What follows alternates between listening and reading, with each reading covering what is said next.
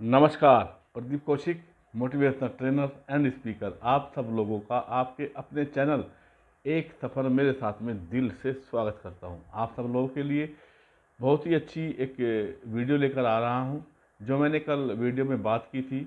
उसका आपको live example दिखा रहा हूँ कि हमने क्या बात की अशोक अग्रवाल सर से और उन्होंने क्या जवाब दिया। हमारी टीम ने, जो हमारी टीम के मुख्य सदस्य हैं, हरवीर जी और वो कल उस चैनल पर चली थी, हमारे दो चैनल हैं स्टेट ट्वेंटी फोर ऑफिशियल और एक सफ़र मेरे साथ। दोनों चैनलों में कोई अंतर नहीं है और दोनों चैनल एक ही हैं और हमारी टीम पूरी एक ही है और जो भी हम काम करते हैं, एक साथ मिलकर करते हैं। तो अब आप सब लोगों के सामने नेक्स्ट वीडियो वही है जो अशोक अग्रवाल सर के साथ हमारी बात हुई है अबाउट वैकेंसीज की वैकेंसीज कब आएँगी, कैसे आएँगी और क्या पूरा मैटर है। अब अशोक अग्रवाल सर और हरवीर जी की बात। सुनिए इस वीडियो में। हेलो। हाँ हरवीर जी। नमस्ते सर जी। नमस्ते। जी सर कैसे हैं आप? एकदम फाइन बढ़िया एकदम। Sir sir thank you.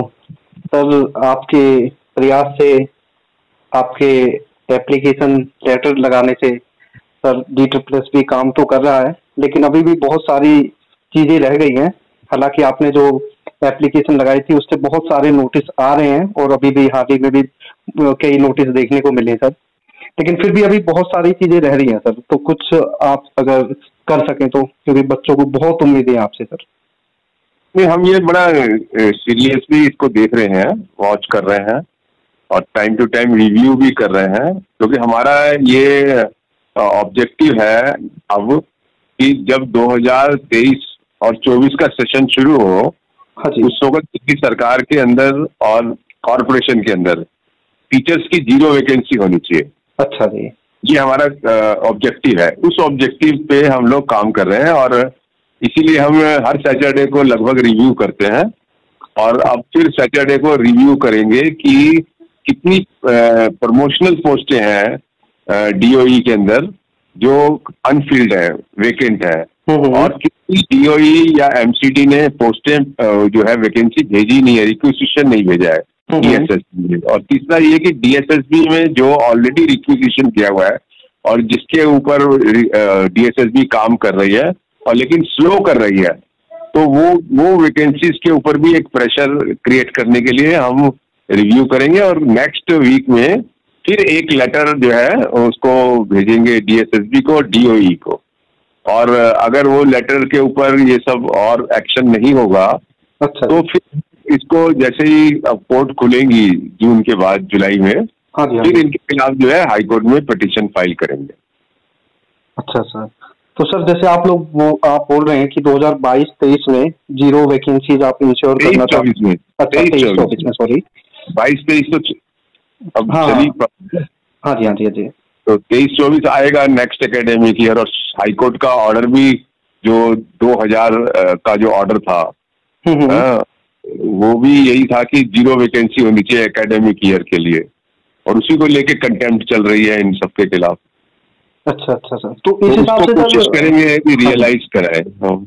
हाँ जी सर। मैं कह रहा हूँ कि सर इस हिसाब से तो काफ़ी सारी वैकेंसीज भी क्रिएट हो सकती हैं। क्योंकि अगर देखा जाए तो बहुत सारी वैकेंसीज हैं खाली पद हैं स्कूल में। नहीं वो जो खाली पद है वो तो भरने की बात है ना। लेकिन मुझे लग रहा है कि अभी जिस तरीके से स्टूडेंट एनरोल्ड हो रहे हैं हाँ जी हाँ जी। तो इन्हें पे- वो जो है पोस्ट फिक्सेशन दोबारा से निकालना पड़ेगा वो भी एक इशू है। तो वो भी हम लोग एक एस्टिमेट लगाएँगे कि कितना बच्चा और आ गया है और उससे कितनी पोस्टें और चाहिए इनको। वो एक और प्रेशर क्रिएट करेंगे सरकार के ऊपर और एमसीडी के ऊपर।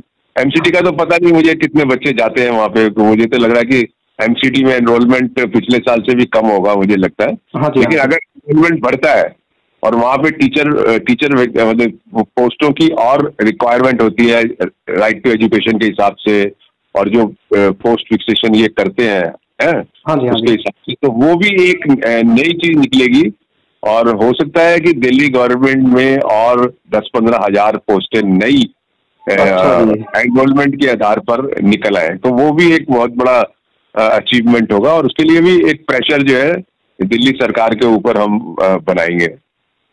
जी सर तो सर इस सैटरडे को आप रिव्यू करेंगे और फिर नेक्स्ट वीक आप एक एप्लीकेशन लगाएँगे।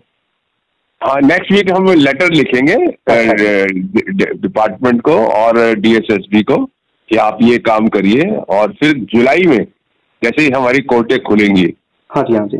हॉलीडे के बाद फिर हम एक एक्शन अगर इन लोगों ने कोई एक्शन नहीं लिया तो हम लोग एक पटिशन लगाएँगे और वही कोशिश करेंगे कि 2023 और 24 का जब एकेडमिक सेशन शुरू हो पहली अप्रैल को तो ज़ीरो वैकेंसी हो।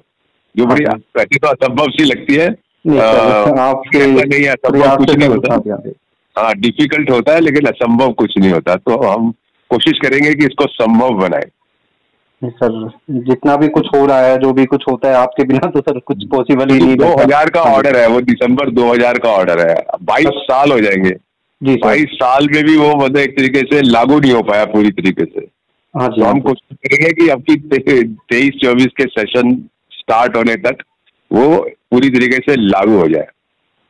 जी सर सर तो उम्मीद करते हैं कि कुछ ना कुछ अच्छा हो और आप ऐसे ही जो काम कर रहे हैं लोगों की दुआएँ और उम्मीदें हैं आपके साथ सर।